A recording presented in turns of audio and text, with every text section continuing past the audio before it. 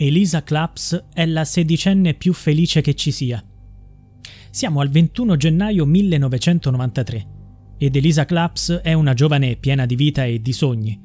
Nel suo diario annota di sentirsi fortunata e felice. A soli 16 anni ha davanti a sé un intero futuro. Ma la sua felicità fu interrotta bruscamente. Quell'anno, il 12 settembre 1993, scomparve dalla sua città natale, Potenza, in circostanze misteriose. Incredibilmente solo 17 anni dopo si scoprirà che Elisa fu assassinata e il suo corpo abbandonato nel sottotetto della chiesa della Santissima Trinità, nel cuore della città. Il 12 settembre di quest'anno si sono commemorati i 30 anni della sua scomparsa e dalla sua tragica morte. Nonostante il passare del tempo, la ricerca di giustizia per lei è stata lenta e parziale Inoltre quest'anno la chiesa della Trinità ha riaperto le sue porte. Per aggiungere una nota sconcertante, è stata posta una targa sulle sue pareti in onore di Don Domenico Sabia, noto come Don Mimì, che fu parroco della chiesa dal 1963 fino a poco prima della scomparsa del corpo di Elisa. La targa presenta un'iscrizione in latino che celebra l'impegno del sacerdote nei confronti dei giovani. Tra i giovani frequentatori della chiesa di Don Mimì c'era uno in particolare, Danilo Restivo, all'epoca un ventunenne con tendenze sociopatiche e un deficit di empatia, noto per il suo strano vizio di tagliare ciocche di capelli alle donne, motivo per cui era soprannominato il parrucchiere.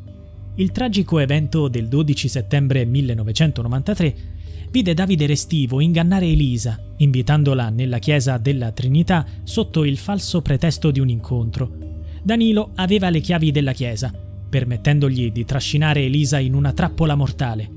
Il giorno in questione, dopo la messa domenicale, Don Mimì partì portando con sé le chiavi della chiesa.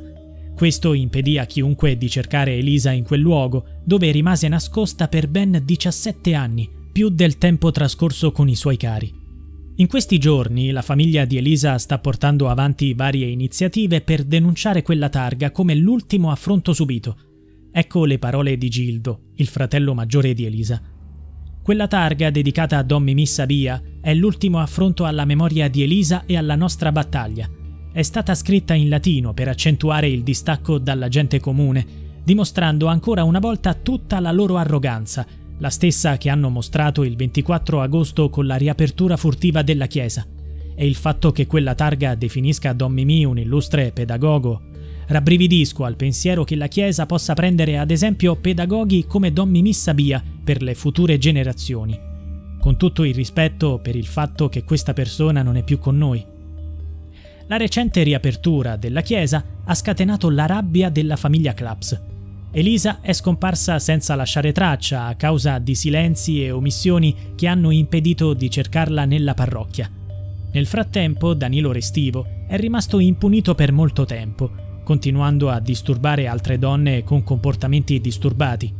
Dopo la scomparsa di Elisa si era addirittura permesso di chiamare anonimamente i clubs, asserendo che la giovane era semplicemente partita. I familiari di Elisa, guidati da sua madre Filomena Iemma, hanno sempre nutrito sospetti nei confronti di Restivo. Gildo Claps, fratello maggiore di Elisa, fu il primo a percepire il pericolo quando quel ragazzo la aveva importunata durante una passeggiata con la sorella. Successivamente Restivo l'aveva contattata telefonicamente a casa, invitandola a quell'appuntamento fatale dal quale non è mai tornata. Elisa era una persona religiosa e altruista, probabilmente desiderosa di incontrare Restivo per offrirgli aiuto ma senza sospettare la trappola mortale che l'attendeva. Per molti anni Danilo Restivo è rimasto impunito. Dopo essersi diplomato e aver lasciato Potenza per vagare per l'Italia, si trasferì in Inghilterra, dove sposò Fiamma, una persona che aveva conosciuto attraverso le varie chat online frequentate. Nel 2002 Danilo Restivo conviveva con Fiamma in un appartamento di fronte a quello di Ether Barnett, una donna di 48 anni, madre separata di due figli di 11 e 14 anni e sarta di professione. Anche Ether finì nelle mire di Restivo quando quest'ultimo si presentò a casa sua sotto il pretesto di commissionare delle tende. Invece, approfittando della situazione, le rubò le chiavi di riserva. qualche giorno dopo, precisamente il 12 novembre, fece irruzione nella sua abitazione e la uccise brutalmente. Come in altri casi, Restivo lasciò la sua firma tagliandole una ciocca di capelli. Durante le indagini, gli inquirenti scoprirono che nella casa di Restivo c'erano foto oscure e che nella sua auto si trovava un kit tipico dei serial killer. Quando la notizia della morte di Ether Barnett e del suo strano vicino si diffuse, Gildo Claps si recò in Inghilterra per informare le autorità britanniche su ciò che Restivo, secondo la sua opinione, aveva già fatto in Italia. Tuttavia il suo arresto dovette ancora attendere. Solo dopo il ritrovamento casuale del corpo di Elisa, avvenuto durante dei lavori da parte degli operai, divenne evidente che entrambe le donne erano state assassinate dalla stessa persona. Anche Elisa aveva subito il taglio di alcune ciocche di capelli il macabro trofeo di Restivo, noto come il parrucchiere. Il 30 giugno 2011 Danilo Restivo fu condannato all'ergastolo per l'omicidio di Ether Barnett. L'8 novembre 2011, in Italia, iniziò il processo nei suoi confronti e, grazie al rito abbreviato, fu condannato a 30 anni di carcere. I suoi familiari hanno costantemente coperto le sue stranezze, optando per allontanarlo invece di cercare di farlo curare. La mancata segnalazione di quanto era avvenuto nella chiesa della Trinità anni prima ha permesso a Restivo di compiere il secondo delitto. Più di una persona avrebbe potuto impedirglielo, semplicemente denunciando l'orrore che si celava in quel luogo, dove si continuava a pregare ignari che il corpo di Elisa fosse nascosto nel sottotetto. Dopo 30 anni, la famiglia di Claps attende ancora di scoprire chi abbia insabbiato l'omicidio la madre di Elisa, Filomena, ha sempre sostenuto ebbe dei complici. Eppure Elisa aveva un profondo senso di giustizia, come emerge chiaramente dal suo diario.